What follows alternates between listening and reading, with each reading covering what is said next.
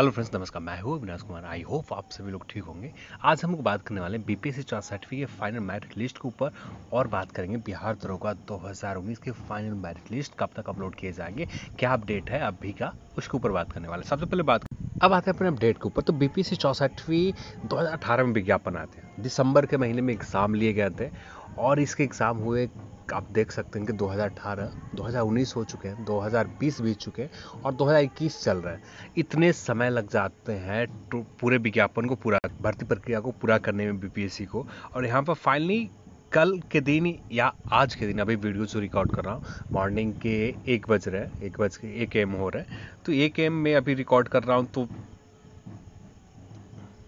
Approx ढाई साल हो गए इस विज्ञापन को पूरे आए हुए एग्ज़ाम लिए हुए और प्री एग्ज़ाम और विज्ञापन आए हुए ढाई साल हो गए। अभी तक इस भर्ती प्रक्रिया को फाइनली इतने समय पूरे होने के बाद, आज के दिन, आज शाम तक, जहाँ तक उम्मीद है, शाम छः से लेकर आठ पीएम तक रिज़ल्ट आ जाएँगे। यदि रिज़ल्ट में डिले होते हैं तो जो बताया जा रहा है कि रविवार को फाइनल रिज़ल्ट जारी कर दिए जाएँगे। यदि डिले होते हैं किसी टेक्निकल इशू की वजह से, तब ये रिज़ल्ट आपको संडे को देखने को मिलेगा। पर जहाँ तक उम्मीद है कि आप बीपीएससी के ऑफ़िस के जो कार्यालय पर रिज़ल्ट चिपकाए जाते हैं नोटिस बोर्ड के ऊपर। तो ये रिज़ल्ट शायद आपको आज ही देखने को मिल जाए।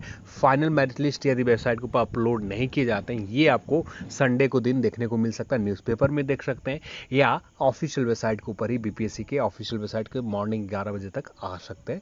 फाइनल मेरिट लिस्ट तो अब इंतज़ार ज़्यादा नहीं करना होगा जहाँ तक उम्मीद है कि आज ही आपका इंतज़ार पूरे हो जाए।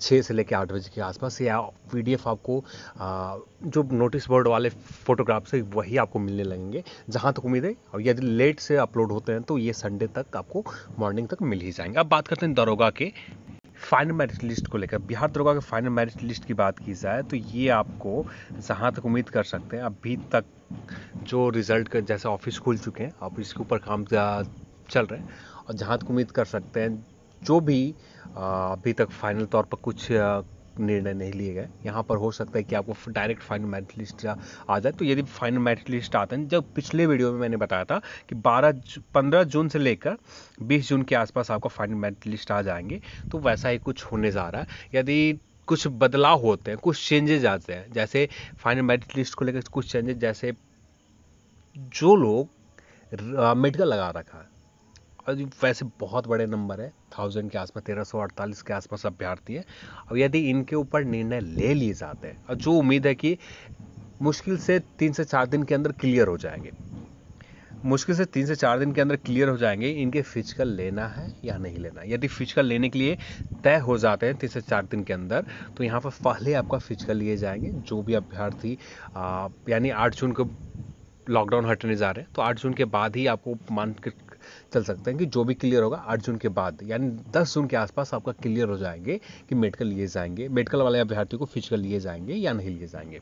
उसके बाद ही आपको मेडिकल यदि नहीं लिए जाते हैं तो पंद्रह से बीस जून के आसपास आपका फाइनल मेरिट लिस्ट आ जाएगी। यदि लिए जाने के तय कर लिए जाते तब जाकर फाइनल मेरिट लिस्ट आपको जुलाई के महीने में आ सकते हैं। इससे पहले बहुत कम उम्मीद रखे, क्योंकि आपने देखा है कि बहुत सारी चीज़ें व्हाट्सएप के ऊपर फेसबुक के ऊपर टेलीग्राम ग्रुप के ऊपर रोज़ कुछ ना कुछ अपडेट तो सभी अपने अपने हिसाब से अपने अपने सूत्रों के हवाले से ये अपने अपडेट लोग देते रहते हैं।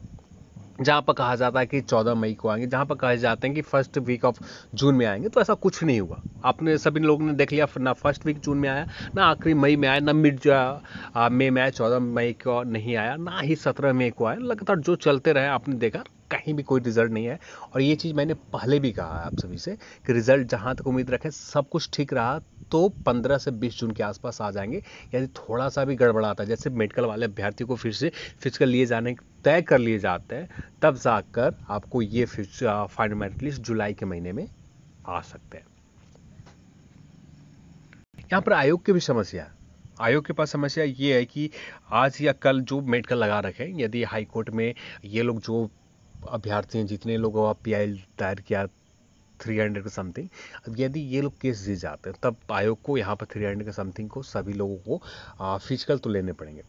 तो आयोग शायद दोनों चीज़ें बचना भी चाहती है। शायद यहाँ पर निर्णय यदि आयोग कर लेती है, आठ से दस जून के बीच में क्लियर हो जाएँगे तो उसके बाद ही तय फाइनल तौर पर कहा जाएगा। तो जैसे ही कुछ आता है अपडेट वैसे ही बताए जाएँगे। तो अभी के लिए सिर्फ़ यही मान के चलो कि सब कुछ ठीक रहा तो पंद्रह से बीस जून के आसपास, और नहीं ठीक रहा तो जुलाई के महीने में रिज़ल्ट आपको आएँगे। ठीक है? तो चलिए आज के इस वीडियो में इतना ही, और इस वीडियो को देखने के लिए आप सभी को बहुत बहुत धन्यवाद। जय हिंद।